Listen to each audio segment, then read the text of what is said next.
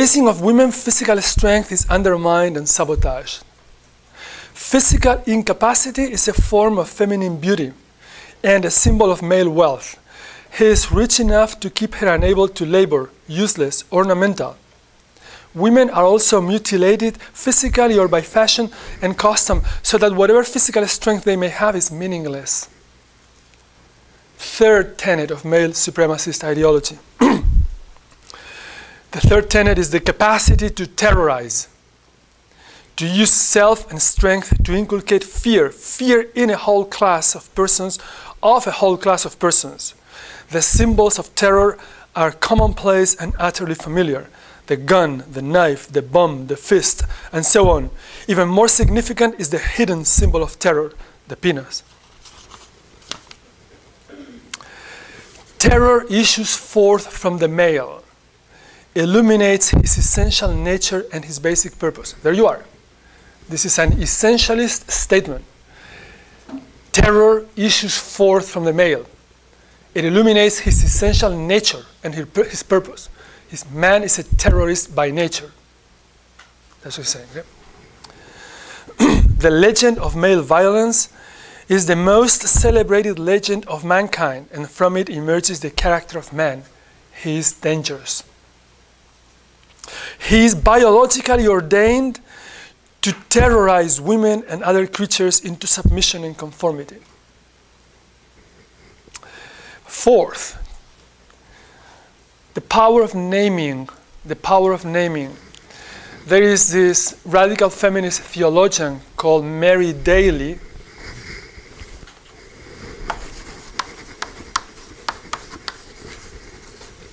She's a colorful woman. Wherever she gives a lecture, are lots of people going there because she's so radical. She began as, she began as a Catholic theologian and then she, she published actually a book that was a bestseller. It was called The Church and the, second, the Church and the Second Sex, in which she argued for equality of women within the church, within the Catholic Church. And then later on, she became disenchanted with the church, and she decided that she was no longer a Catholic or a Christian at all. And then there was a problem, because her book was so successful that the publisher wanted to come out with a second edition of the book. But how could she approve the second edition of a book in which she argues for the equality of women in the church where she doesn't care anymore about the church because she's no longer a Christian, much less a Catholic? Well, in the end, she came to an agreement with the publisher that the book would be published with a, um, a special introduction a post-Christian introduction. And in that post-Christian introduction, she, she makes fun of herself as the writer of the book, how naive this woman was, thinking there could be equality in the church. And she goes to say, she goes on to say, to say that there can be equality within the church, within the Catholic Church for women, is like saying that there can be equality for black people in the Ku Klux Klan. Despite which, she kept teaching at a Catholic university. I wouldn't imagine an African American person teaching at the Ku Klux Klan institution. So there you see the in, inconsistencies. You know, one thing is the talk, different thing is your salary, right? So anyway, that's Mary Daly makes a big deal of naming. Uh, he says, well, men have appropriated language. So they have, they're the ones who've given names and used language for their interest, to, to, to signify their supremacy and their power. So, for example, we are told that Adam gave names to all the animals. And that was a God given power. Because in primitive cultures, by giving a name, you established power over the other creature or thing. That's why you give name to your children. It's a symbol of your authority and power over them. Right? Men have done that. So now radical feminists are embarked into this process of changing language.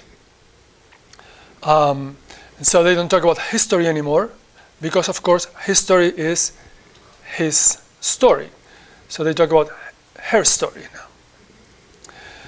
now. Um, this is supposed to be somehow funny. So don't worry about the video recording. Just if you feel like laughing, please Let's make it as natural as possible. We have a classroom full of people here. So, no history, but her story and other stuff like that, okay? So, the next um, tenet of male supremacist ideology, fifth, is men have the power of owning. You will not be tested on these specific tenets. It's an illustration just to show you what I mean by an essentialist position. The power of owning. True, a married woman in the United States today can own her own hairbrush and clothes as she could not through most of the 19th century. Should she run away from home, she's not likely to be hunted down like a runaway slave, as she would have been through most of the 19th century. But the power of, although she may still be beaten up for her effrontery, but the power of male owning, like all male power, is not hindered or confined by specifics. This is the, this, the male power, the, is the presumption that the male's right to own the female and her issue is natural, predating history, postdating progress. Marriage as an institution developed from rape as a practice. This is a famous radical feminist statement, by the way. Six, the power of money. Money is a distinctly male power. Money speaks but it speaks with a male voice. Money properly expresses masculinity. Money has an extreme sexual component. Men are supposed to hoard sperm as they are supposed to hoard money. One meaning of the verb to spend is to ejaculate. One meaning of the verb to husband is to conserve or save. A husband, in this sense, is one who conserves or, sa- or saves his sperm except to fuck for the purpose of impregnating. In the male system, control of money means sexual maturity, as does the ability to control ejaculation. A boy spends his sperm and his money on women. A man uses his sperm and his women to produce wealth. A boy spends, a man produces. And then finally, the seventh tenet of male power is the power of sex. Uh, she claims that men, says, men say that women have the power of sex because they cause erections in them. But in reality, women do whatever want them to do. Therefore, it's men who control women, and therefore, it's men who also have the power of sex. It's quite a, a convoluted argument. This is um, Andrea Dworkin. Um, now, the radical feminists um, do what we call systemic analysis. Systemic, not systematic. Okay, don't confuse the two words. Systemic analysis.